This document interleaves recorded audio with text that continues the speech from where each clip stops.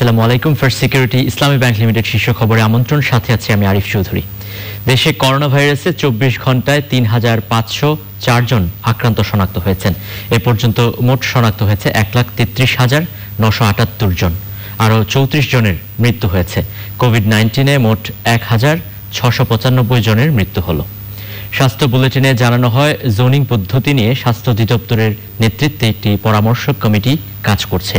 Zoning পদ্ধতি স্থায়ী কোনো বিষয় নয়, এজন্য স্থায়ীভাবে কোনো এলাকাকে রেড জোন ঘোষণা বা বাতিল করা হয়নি। নমুনা সংগ্রহ হয়েছে চব্বিশ ঘন্টায় পনেরো হাজার উনষাটটি এবং পরীক্ষা হয়েছে পনেরো হাজার একশো সাতান্নটি পূর্বের নমুনা সহ।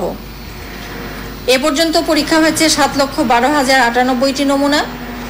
এবং গত চব্বিশ ঘন্টায় যা নমুনা পরীক্ষা হয়েছে, তাতে শনাক্ত হয়েছে তিন হাজার পাঁচশো চারজন চব্বিশ ঘণ্টা শনাক্তর হার তেইশ দশমিক এক দুই শতাংশ।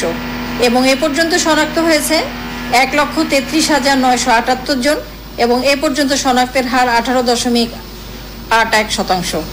চব্বিশ ঘন্টায় মৃত্যুবরণ করেছেন চৌত্রিশ জন এবং এ পর্যন্ত এক হাজার ছয়শো পঁচানব্বই জন। শনাক্ত বিবেচনায় মৃত্যুর হার এক দশমিক দুই সাত শতাংশ।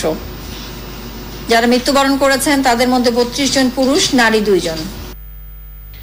রাজধানীর বিভিন্ন হাসপাতালে শয্যা সংখ্যার তুলনায় কোভিড নাইন্টিনে আক্রান্ত রোগীর সংখ্যা কমতে শুরু করেছে। চিকিৎসকরা বলছেন মানুষের মাঝে সচেতনতা বাড়ার কারণে বাড়িতেই প্রাথমিক চিকিৎসা নেয় রোগী ভর্তির সংখ্যা কমছে। এনামুল কবির রূপমের রিপোর্ট। রাজধানীর মুগদা মেডিকেল কলেজ হাসপাতাল। কোভিড নাইন্টিনে আক্রান্তদের চিকিৎসার জন্য এখানে তিনশো চোদ্দটি শয্যা রয়েছে। শনিবার সকালে এখানে আইসিইউ সহ ভর্তি রোগী ছিল দুশো দুজন। একশোর বেশি শয্যা খালি রয়েছে। তবে আইসিইউ এবং এইচডিইউ খালি নেই। রোগীদের ভর্তির সমস্যা অনেকটাই কেটে গেছে। রাজধানীর কেন্দ্রীয় পুলিশ হাসপাতাল। এখানে কেবলমাত্র পুলিশ কর্মকর্তা এবং সদস্যদের চিকিৎসা দেওয়া হচ্ছে। হাসপাতালে রোগী ভর্তির হার কমে এসেছে। সিমটম ছিল না বাট একটু একটু জ্বর ছিল, গরম পানি খাওয়ার পর কমেছিল জ্বর। হঠাৎ করে রাত্রেবেলা একটু অসুস্থ হয় ভর্তি করার পরে টেস্ট দেওয়ার পরে দেখা যায় করোনা। বসে আছি কারণ বাবা যেহেতু আমাদের সাথেই ছিল তাহলে আমাদেরও তো হওয়ার সম্ভাবনাটা থাকে। তাই আমরা একটা হ্যাঁ নমুনা দিতে আসছি।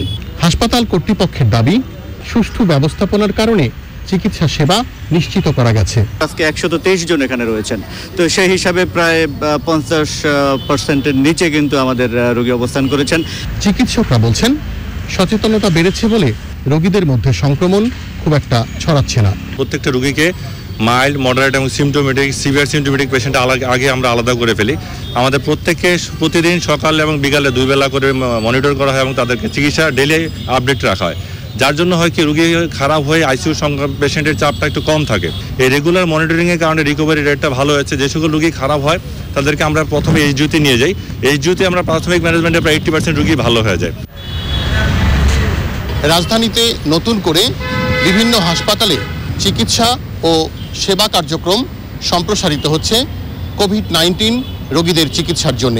এ কারণে বিভিন্ন হাসপাতালে রোগীদের চাপও অনেকটা কমে এসেছে। এ পরিস্থিতিতে মন্ত্রণালয়, অধিদপ্তর এবং সরকারি বেসরকারি হাসপাতালগুলোতে চিকিৎসা ও সেবা কার্যক্রম আরও গতিশীল দেখতে চায় সাধারণ মানুষ। তবে নমুনা পরীক্ষার ক্ষেত্রে এখনও কমেনি সাধারণ মানুষের ভোগান্তি। Enamul Kabir Rupam, Channel I, Dhaka. এই ছিল এখনকার শীর্ষ খবরে, পরবর্তী সংবাদ দেখার আমন্ত্রণ জানিয়ে শেষ করছি। ধন্যবাদ সবাইকে।